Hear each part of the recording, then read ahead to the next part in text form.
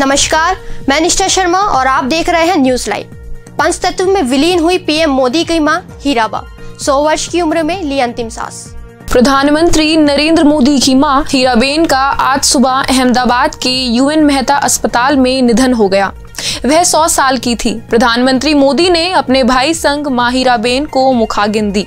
इससे पूर्व पीएम मोदी ने माँ की पार्थिव देह को कंधा दिया और शव वाहन में पार्थिव देह के करीब बैठे रहे। माँ के निधन की सूचना मिलने पर पीएम मोदी दिल्ली से सुबह सात बजकर पैंतालीस मिनट पर अहमदाबाद पहुँचे। यहाँ से वे सीधे गांधीनगर के रायसण गाँव में भाई पंकज मोदी के घर गए, जहाँ माँ की पार्थिव देह रखी गई थी। पीएम मोदी के पहुँचने पर माँ हीराबेन की अंतिम यात्रा शुरू हुई। प्रधानमंत्री मोदी की माँ हीराबेन को बीते बुधवार को तबियत बिगड़ने पर अहमदाबाद के यूएन मेहता अस्पताल में भर्ती कराया गया था। प्रधानमंत्री नरेंद्र मोदी तब अस्पताल पहुँचे थे और करीब एक घंटा बीस मिनट तक अस्पताल में रहे थे। पीएम मोदी ने ट्वीट कर दी माँ हीराबेन के निधन की जानकारी।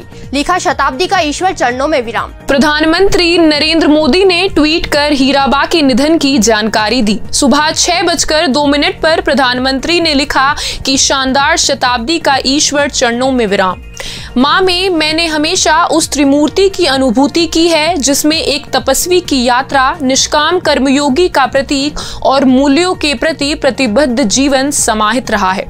पीएम मोदी ने लिखा कि मैं जब उनसे सौवे जन्मदिन पर मिला तो उन्होंने एक बात कही थी, जो हमेशा याद रहती है कि काम करो बुद्धि से और जीवन जियो शुद्धि से।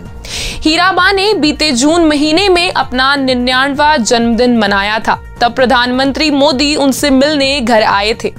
उस दौरान पीएम मोदी ने हीराबा के पैर धोकर पानी अपनी आँखों से लगाया था। माँ को अंतिम विदाई देने के बाद कर्तव्य पथ पर पीएम मोदी। वंदे भारत ट्रेन को दिखाई हरी झंडी।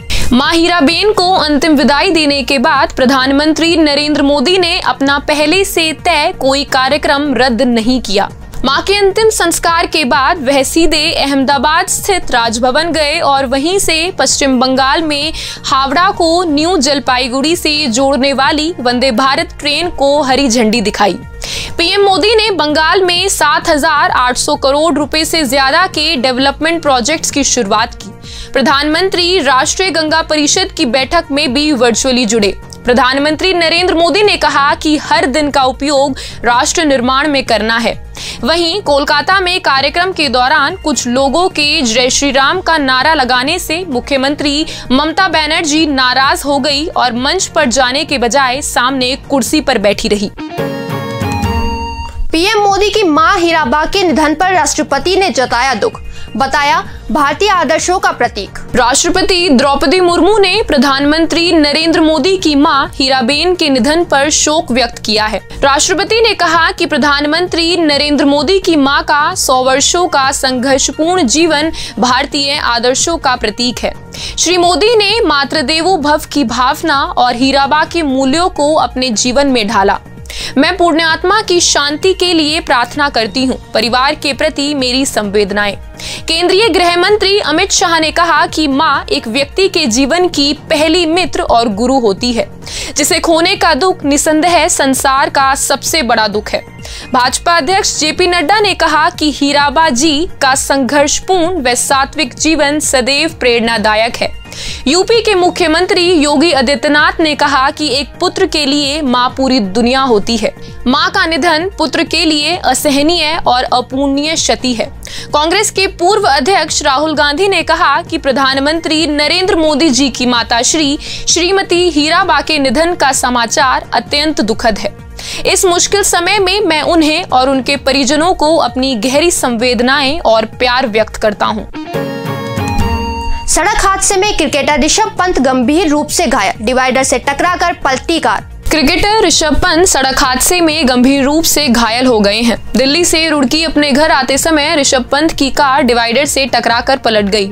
उन्हें देहरादून के एक निजी अस्पताल में भर्ती कराया गया है। ऋषभ पंत अपनी माँ को सरप्राइज़ देना चाहते थे और इसीलिए वह देर रात दिल्ली से रुड़की आ रहे थे। वह खुद ही कार चला रहे थे और कार में अकेले थे। पुलिस के अनुसार रुड़की के पास मंगलौर थाना क्षेत्र में उन्हें झपकी आई और कार डिवाइडर से टकराकर पलट गई।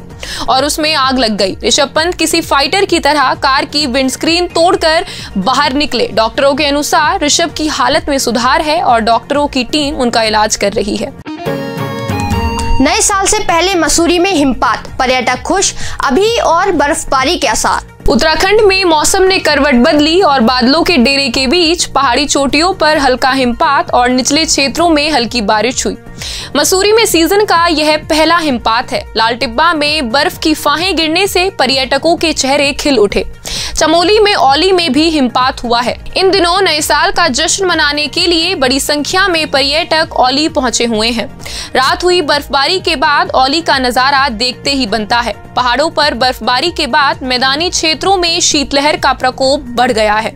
मौसम विभाग के अनुसार पर्वतीय क्षेत्रों में अभी भी हल्की बारिश और हिमपात के आसार हैं। इससे तापमान में और गिरावट आ सकती है। आज के लिए बस इतना ही। कल फिर मिलेंगे देश दुनिया की नई जानकारियों के साथ। तब तक देखते रहिए और सब्सक्राइब कीजिए आई मीडिया